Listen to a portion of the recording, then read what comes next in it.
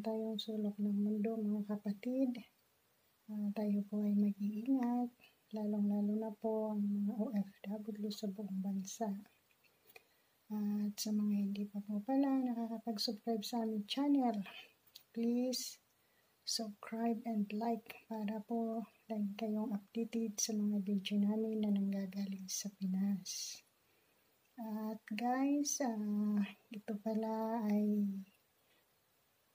share ko sa inyo ang buhay namin mga caregiver.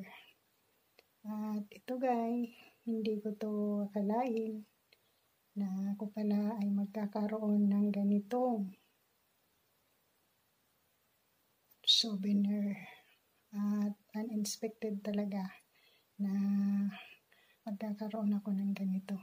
At ito ay inalagaan ko siya ng 2009 to 2013. At kami lang ang lagi nasa bahay dahil siya po ay totally bedridden. At ang lakas niya ay sa akin ang gagaling lahat. Gawa ng siya ay nakakateter, naka-NGT, naka-colostomy bag, at naka-colostomy whopper, naka-insulin pa siya guys.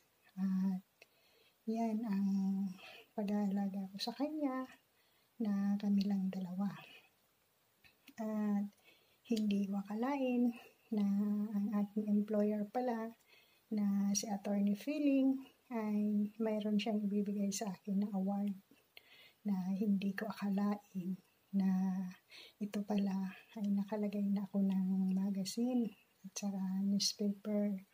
At nung ako'y umuwi na, na nung ako'y pala uuwi ng Pinas, uh, ito ay nakalagay sa plastic envelope at yung bigay din niya sa akin na pabuya ay hindi ko po akalain na ito pala. At salot po sa aking boss sa Singapore.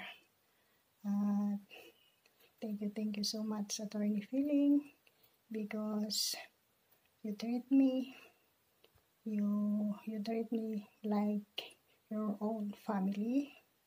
Uh, I love you so much. At hindi ko po akalain na ganito pala ang mangyayari sa akin sa Singapore at yung kabilin-bilinan niya sa akin at kung ako ay mag apply na naman sa panibagong trabaho ay ito lamang ay ipakita ko at makakatulong sa akin.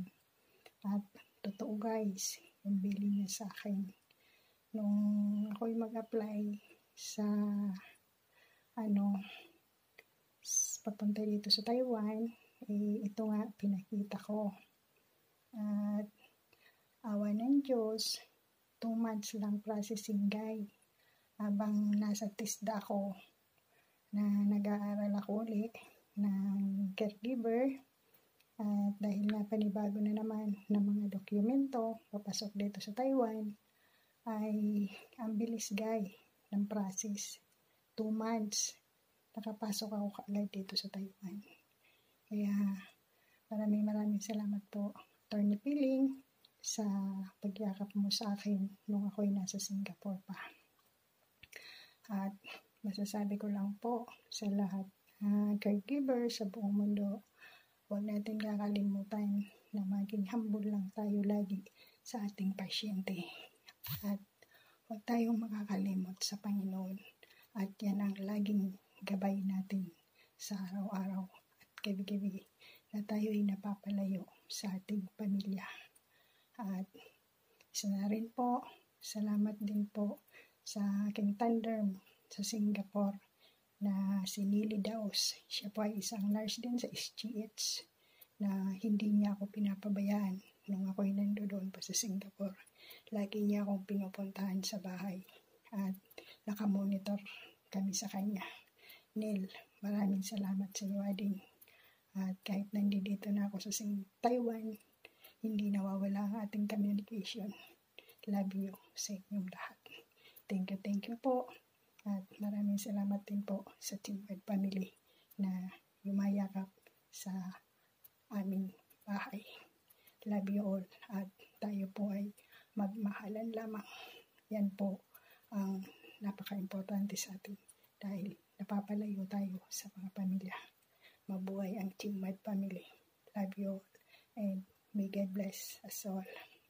Yan lang po ang masasabi ko sa inyong lahat. Love you. Love you. Magmahalan tayong lahat guys.